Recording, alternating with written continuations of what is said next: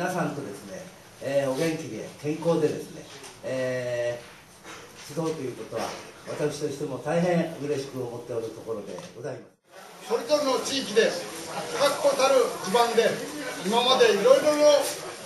大きな嵐を悠々としてくぐり抜いた方ばかりでございます、えー、こう高いとこから見回しましても組合長も含め、えー、20代の人は残念ながら見かけることができない、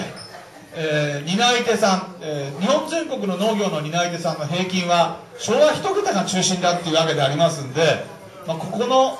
次の世代と次のその次の世代ぐらいまでを考えてですねやっていかないと。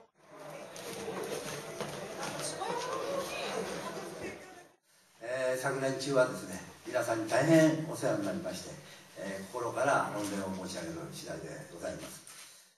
今まさに経済の状況が悪い時ですねやっぱり環境のために優しい都市部の農業あるいは林業